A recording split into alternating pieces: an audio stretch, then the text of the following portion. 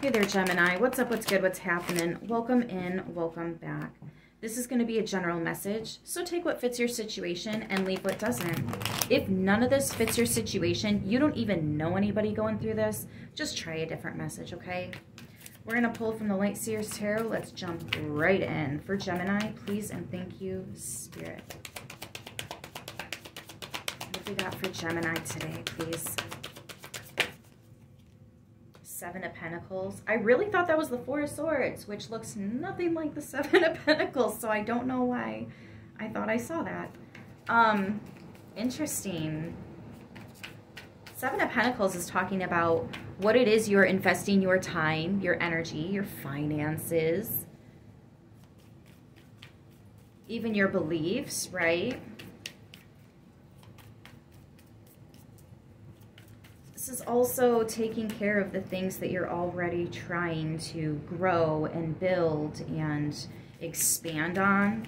The relationships you nurture, you pour yourself into. Yeah, exactly. Knight of Cups. That genuine, loving, compassionate, even romantic, you know, when appropriate in appropriate situations. But, um, it's like you have this sense of freedom, but you're choosing to be here because this is genuinely where you want to be. This is gentleman. This is the gentleman card here. Male or female, doesn't matter, but somebody has that respectful energy. This is somebody that is going to ask for permission before doing something, not just assume it's an okay thing to do. This is definitely not somebody that, well, in the reverse, it could be that playboy energy, right? That playgirl energy. Where they just play too darn much and it's dangerous and people get hurt. You know what I mean? But it's not. It's in the upright. So this is genuine. They have this freedom, but it's like they choose it. See, this is the difference between somebody that wants to be with you versus somebody that needs to be with you. This is what real love is made of. This is what real, genuine connections and investments are made of. This is solid stuff. This creates Four of Wands, not towers.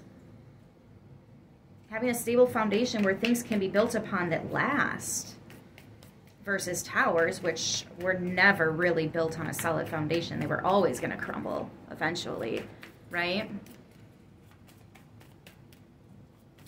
Maybe that's why I thought it was the four of four of wands. What else do we have for Gemini? For some of you, this is a Pisces or possibly a, what is that, Taurus energy coming towards you. Or that you are investing in, right? This could be you.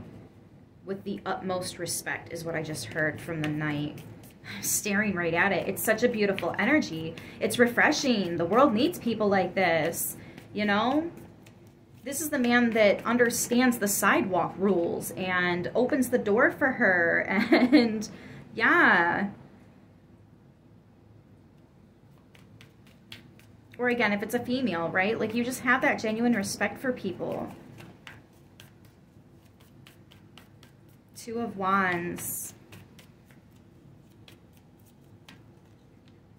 Eight of Swords. Why does that card keep coming out?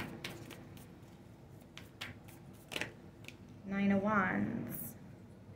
Oh. Oh. Yep, Page of Swords. Some of you guys are going to find out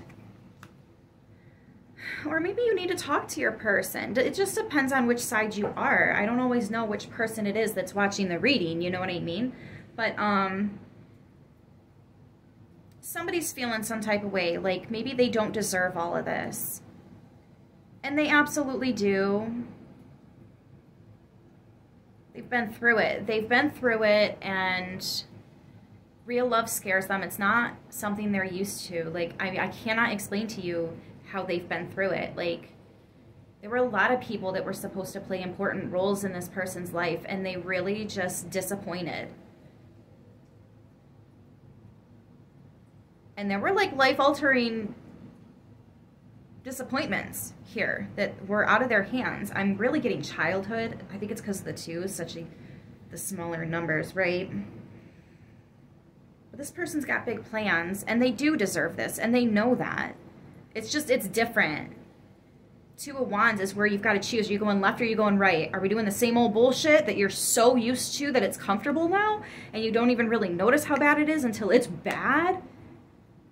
or are we going to try something new that's scary and triggering because like it's going to bring up a lot of things you're going to realize just how much they didn't care even though you wanted to believe that they did now you're going to realize wow if they were in that position and this person could do that for me why couldn't they they really didn't want to did they that's really who they were and i was in the and it fucks with your head so whoever's going through that, please be open to talking to your partner. Or if I'm speaking to the other person, please be aware that your partner needs you right now.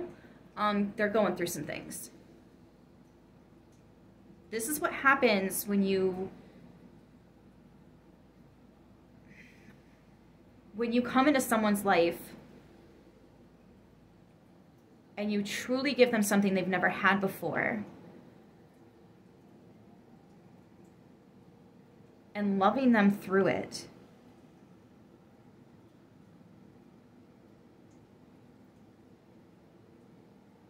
That's the true definition of out here saving a life or changing lives.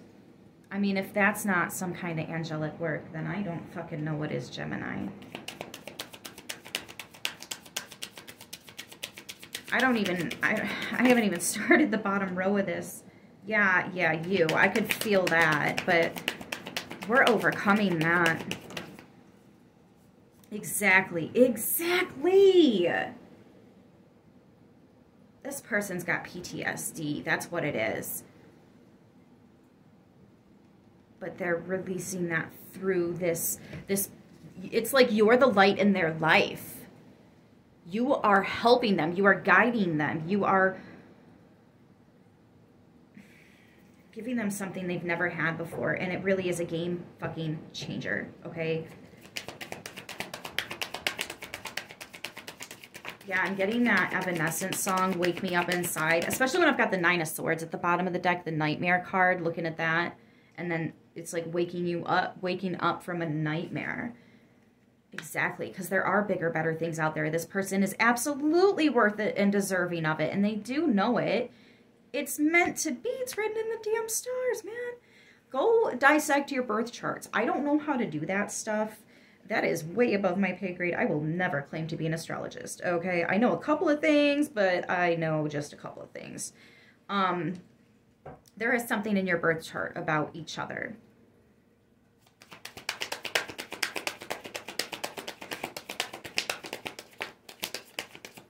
I'm hearing down to the day that you met or meet. Yeah, Ten of Cups. It's all right there. Loving somebody even when they feel like they don't deserve it. Just because they're so used to giving so much more than other people that when they meet somebody and it's genuinely equal give and take, they feel like they're not putting in as much as they used to. And it feels weird, like they're not doing enough. They're so used to outdoing people that when they can't outdo them, it's like, am I am I you know what I'm saying? I'm struggling to find the words. but I think you yeah, Ace of Cups. Oh my gosh. And the Hermit. It's so beautiful. Wake me up inside, wake me up inside, call my name and save me from the dark.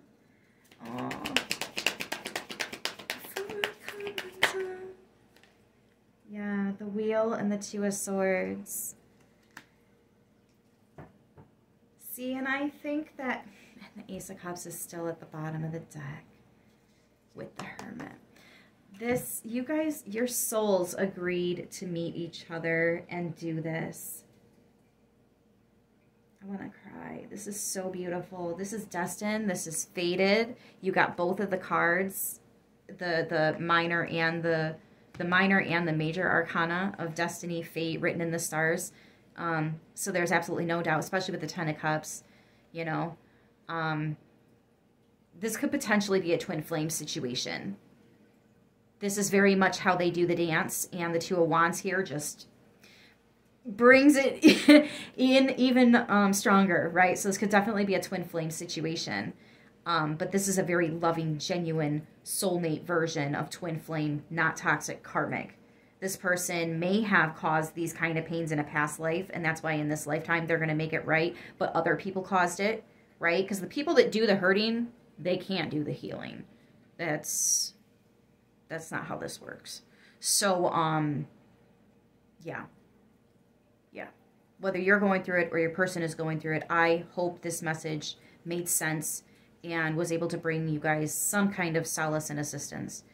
Um, I've got Sagittarius, Libra, Capricorn, and Pisces on the board for you guys. And Virgo with the Hermit coming out. That's that soul energy. Yeah, this is brand new, unlike anything you've had before. The Fool card, you jump, the universe is going to catch you here. Aries energy with that. Yeah, justice underneath. Libra energy. 11 as well. Wow. Walking through a brand new door, literally. I'm going to leave it here. I hope this message helps. I love you guys. I'll see you soon. Until then, stay beautiful.